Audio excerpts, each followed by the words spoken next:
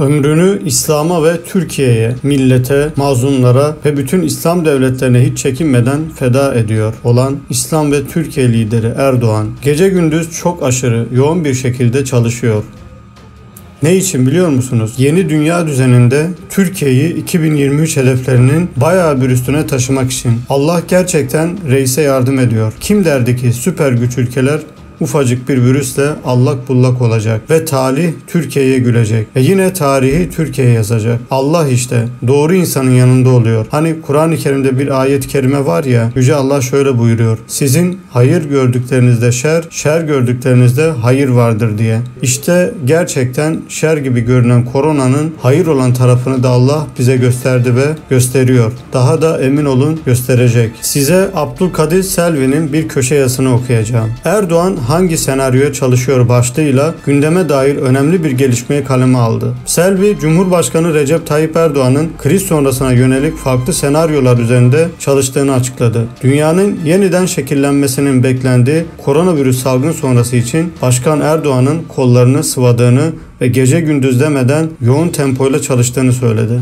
İşte o yazı. Bu başlığı görüp aklınıza hemen erken seçim ya da kabine değişikliği gelmesin. Anlatacağım. Çünkü bir süredir Cumhurbaşkanı Erdoğan'ın farklı bir çalışmanın içinde olduğu yönünde haberler alıyorum. Yakın çevresinden kimle konuşsam Erdoğan'ın çok yoğun olduğunu söylüyor. Erdoğan'ın geleceğe hazırlandığı söyleniyor ama bu tahmin ettiğiniz gibi iç siyasetle ilgili bir konu değil. Tam aksine Cumhurbaşkanı'nın bir süredir kriz sonrasına dönük senaryolar üzerinde çalıştığı söyleniyor. Çünkü kriz sonrası dünyayı büyük bir değişim bekliyor. Erdoğan artık hiçbir şey eskisi gibi olmayacak diyerek buna işaret etmişti. Dünya yeniden şekillendirilirken bizim de o masada bir sandalyemizin olması gerekiyor. Bunun farkında olan Cumhurbaşkanı Erdoğan'ın bir süredir Türkiye'yi kriz sonrasına hazırlayan senaryolar üzerinde çalıştığı söyleniyor. Bunun ilk işareti iletişim Başkanı Fahrettin Altun'un attığı bir tweette gizliydi. Altun, salgın sonrası kurulacak olan yeni dünyanın küresel gücü olma yolunda gece gündüz demeden çalışıyoruz diyordu. Bu konuda biraz daha ayrıntıyı almaya çalıştım. Yeni sürecin perspektifi, yapılan çalışmalara dönük perspektifi aktarmak için bir yandan koronavirüsle mücadele ederken diğer yandan da salgın sonrasına yönelik hazırlıklarımız devletin her kademesinde Cumhurbaşkanımızın liderliğinde büyük bir titizlikle devam etti. Salgınla elde ettiğimiz başarının devamı için büyük bir gayret sarf ediyoruz değerlendirmek değerlendirmesini yansıtmak istiyorum. Koronavirüs sonrası dünyanın dinamikleri farklı olacak. Aktaracağım ikinci değerlendirme ise Türkiye'nin bunun farkında olduğunu göstermesi açısından önemli. Cumhurbaşkanımızın küresel ekonomik, siyasi ve sosyal düzende köklü değişiklikler yaşanması muhtemel yeni bir döneme giriyoruz. İnşallah 21. asrı Türk asrı haline getireceğiz. Sözlerini ilke edindiğimiz ve bunun için durmaksızın çalıştığımız günlerden geçiyoruz deniliyor. Krizden çıkış süreci en az koronavirüsle mücadele süreci kadar önemli olacak. Çünkü ya bu kriz bizi yönetecek ya da biz krizi. Cumhurbaşkanı Erdoğan'ın kolları sıvayıp buna hazırlık yaptığı söyleniyor. Bahçeli heveslerini kursaklarında bıraktı. MHP Genel Başkan Yardımcısı Semih Yalçın bir tweet attı. 3 hilalin tek başına iktidarı artık bir zorunluluktur dedi. Twitter bilgeleri harekete geçti. Cumhur İttifakı bozuluyor diye. Heyecanlananı mı ararsın? Erken seçim için tarih ilan edeni mi? Yoksa işte darbe olacak, başka bir şekilde bu işler hallolacak diyeni mi ararsın? Laf aramızda sadece Twitter kahinleri coşmamış. Muhalefet cephesinde de bir heyecan dalgasına yol açmış. Peki Semih Yalçın bu tweet'i niye atmış? Duyduğuma göre Alaaddin Çakıcı ve Sedat Peker üzerinden ülkücülere yönelik saldırılar yapılınca ülkücüleri savunalım, onların sahipsiz olmadığını gösterelim diye harekete geçmiş. Necip Fazıl'dan ve Alparslan Türkeş'ten ülkücülük tariflerini paylaşmış. Ancak onlara dikkat eden olmamış. Ne zamanki içinde 3 hilal iktidar olan paylaşım gelmiş, birilerinin hevesleri kabarmış. Ne zamanki Bahçeli'den Cumhur İttifakı'na ve Berat Albayrak'a güçlü destek geldi, bu kez de ters köşe oldular. Bir kez daha hevesleri kursaklarında kaldı. Cumhur İttifakı dağılacak diye beklerken tam aksine güven tazeledi. Özal'dan Erdoğan'a. Özal tonton bir başbakandı. Askılı pantolonu, gözlüklerinin altından cin gibi bakan gözleriyle muhalefete çatar. Bizim yaptıklarımıza onların hayalleri bile yetişemezlerdi. Gerçekten bir zihniyet devrimini gerçekleştirmişti. Erdoğan o cümleyi bunların hayalleri bile bizim fiillerimize ulaşamaz diye kullanmayı tercih ediyor. Şehir hastanelerini yaparken aleyhinde kampanyalar düzenlediler. Seçim döneminde insanların kafasını karıştırdılar. Koronavirüs salgını sırasında gör gördük ki iyi ki şehir hastanelerini yapmışız. Sadece şehir hastaneleri değil. İyi ki sağlığa yatırım yapmışız. Böylece kaç can kurtarıldı. ABD'de ve Avrupa'da sağlık sisteminin çöktüğü bir dönemde dünyanın süper gücünün maske bulmakta zorlandığı bir dönemde bizim sağlık sistemimiz ayakta kaldı. Cumhurbaşkanı Erdoğan önceki gün Sancaktepe ve Yeşilköy'de yapılan sahra hastanelerini ziyaret etti. Bu ikinci teftişi. Hastanelerin bayramdan sonra açılması için çaba gösteriyor. Geçmişte şehir hastanelerine karşı çıkanlar şimdi iki hastane için rahatsız olmaya başladılar. Efendim ne gereği varmış? Ne gereği olduğunu Erdoğan dün açıkladı. Sağlık turizminde kullanılacağını söyledi. Cleveland'a gidiyorlardı. Bundan sonra İstanbul'a gidecekler dedi. Her iki hastanenin özellikle de havalimanının yanına inşa edildiğini anlattı. Yurt dışından gelenler uçakla gelecekler ve buralarda tedavilerini yapıp ondan sonra uğurlayacağız dedi. Adana'da fuar alanının paravanlarla bölünüp hastane görünümüne sokulmasından heyecanlanırlar da sağlık turizmine açık iki yeni hastanenin rekor bir sürede yapılacak olmasına kulp takmaya kalkarlar. Ülkenizle gurur duyun. Bu o kadar zor mu?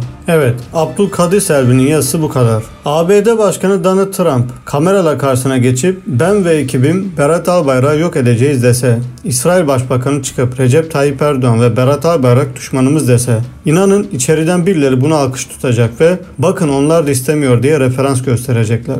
Dolar yükselsin, vur kıçına rahvan gitsin diyor değiliz. Biz Türk lirasının tüm dünyada geçer akçe olması için verilen mücadeleyi destekliyoruz. Bir düzen kurulmuş. Bu düzeni yeniden dizayn ederken rakipleriniz boş durmayacak. Başkan Erdoğan doları bırakıp her ülke kendi parasıyla ticaret yapsın derken bunun karşısında diş bileyecek ve sinir krizleri geçirecek kompradorlar elbette olacak. Dünya ekonomisi tarihinin en kötü dönemini yaşıyor. Buna rağmen Türkiye hala hareket alanına sahip. Bu sebeple iki yıl içinde dört savaş açtılar. En son Londra üzerinden saldırdılar. Hepsi püskürtüldü. Yoksa siz Trump'ın Türk ekonomisini mahvedeceğiz diye açıkça attığı mesajı görmediniz mi? Açın sosyal medya hesabına bakın. Mesaj hala orada duruyor. Sizce ABD Başkanı niye Türk ekonomisine hedef alır? Bu bile Türkiye'nin gücünü gösterir. Çünkü zayıf ülkelerin düşmanı olmaz. Onlar maalesef sömürülür ve ancak güçlü ülkelerin düşmanı olur. Bizim de Allah'a hamdolsun ki düşmanlarımızın sayısı çoğalıyor. Korkmuyoruz. Allah artırsın ve bizi onlara galip kılsın. Rahmetli Abdurrahim Karakoç'un ya İslam'da erirsin ya inkarda çürürsün. Yol mezarda bitmiyor. Girdiğinde görürsün mısraları bizim hakikatimizdir. Birileri Berat Albayrak için sınır çizmeye kalkarken onu damat diyerek al aşağı etmeye çalışırken Bazıları buna çanak tutuyor. Lütfen sen dikkat et arkadaşım. Özel görüşmelerimde de, kamu açık yerlerde de daima söyledim. Berat Albayrak ekonomiyi çok iyi bilmektedir. Tüm dert onun milli çizgi izleyerek Türkiye'yi ekonomide dünya listesinin üst sıralarına getirmek istemesidir. Onu hedef alanlar aynı zamanda Recep Tayyip Erdoğan'ı da hedef almaktadır. Kendi adamlarınızı Haçlı artıkları karşısında yalnız bırakmayın. Aslında tercihinizi yapmıştınız. Fakat size bu tercihi arada sırada unutturuyorlar. Sizler dik durmuştunuz. Seni başkan yaptırmayacağız diyen Kandil maşalarına rağmen Erdoğan'ı Türkiye Cumhuriyeti'nin 1. Devlet Başkanı ve 12. Cumhurbaşkanı seçmiştiniz. Geri adım atmadan sağlam durun ki bu savaşı milletçe kazanalım. Savaş içindeyiz. Cephede teröristleri yok ederken ekonomi teröristlerine karşı da mücadele veriyoruz. Ama Berat Albayrak bu mücadeleyi tüm detaylarıyla anlatma fırsatı yok. Çünkü sizin duyacaklarınızı düşmanlar da duyacak. Gece yarısı herkes yatarken Asya piyasalarından yapılan saldırıları nasıl pürküttüğünü bilseniz hüzünlenirsiniz. Memleket için savaş veren, insanların yalnızlığı karşısında iç çekersiniz. Onları en azından manevi anlamda yalnız bırakmamak vatan vazifesidir. Bunları bir partizanlık olsun diye söylemiyorum. Ne partisi Allah aşkına? Mehmetçik cephede savaşırken askerimizi desteklemek particilik mi oluyor? Mehmetçikleri desteklemek nasıl particilik değilse ekonomi için savaşan gizli kahramanları desteklemek de particilik değildir. Tercihinizi dilerseniz tekrar yapın. Baronlardan yana mı duracağız yoksa tam bağımsız Türkiye diyenlerden yana mı? Aslında milletçe bir istişare yapmıştık. Küresel düzenden değil yerli ve milli nizamdan yana olduğumuzu deklare etmiştik. Bu yüzden Cumhurbaşkanlığı hükümet sistemi kuruldu. Bu yolun sonunda başarı da var, başarısızlık da. Ama dönmek yok. Gemiyi terk etmek asla yok. Ben başarılı olacağımıza inanıyorum. Türkiye'nin dünya gücü olacağına ve aleme yeniden nizam vereceğine inanıyorum. Sağımıza ve solumuza bakmadan ben varım diyecek bir şiara ve ruha sahibiz. Bu ruha sahip olmayanlar kendi ideolojik çamurlarında banyo yapmaya devam edebilirler. Başkan Erdoğan reis ünvanını kendi kendine almadı. Millet ona reis dedi. İşte bu reis kendini aydın zannedenlerin daima on adım ötesindedir. Milletin ufkunu ve yolunu açmaktadır. İslam ümmetinin gönül sultanı olmak her ülkenin liderine nasip olmaz. Bizim milletimize nasip oldu elhamdülillah. Evet videoyu izledikten sonra lütfen paylaşmayı unutmayalım. Abone değilseniz de kanalıma abone olarak destek olmayı lütfen unutmayalım. Hoşçakalın.